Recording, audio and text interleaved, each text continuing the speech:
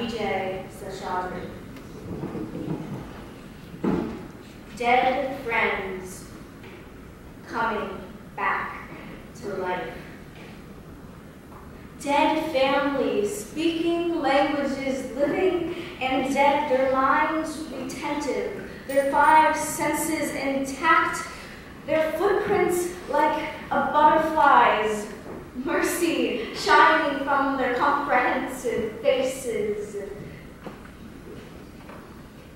This is one of my favorite things.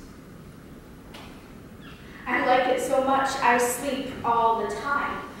Moon by day and sun by night find me dispersed deep in the dreams where they appear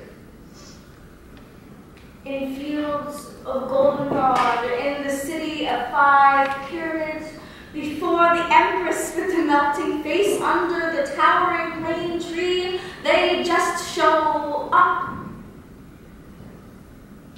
It's all right, they seem to say. It always was. They are diffident and polite. Who knew the dead were so polite? They don't want to scare me. Their heads don't spin like weather vanes. They don't want to steal my body and possess the earth and wreak vengeance. They're dead. You understand? They don't exist. And besides, why would they care? They're subatomic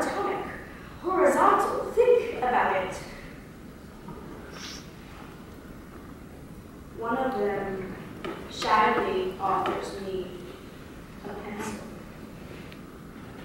The eyes under the eyelids dart faster and faster.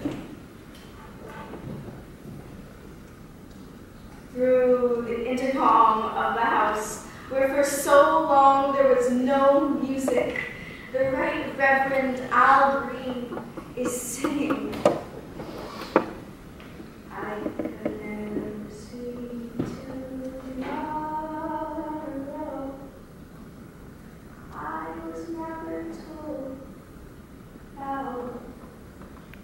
Was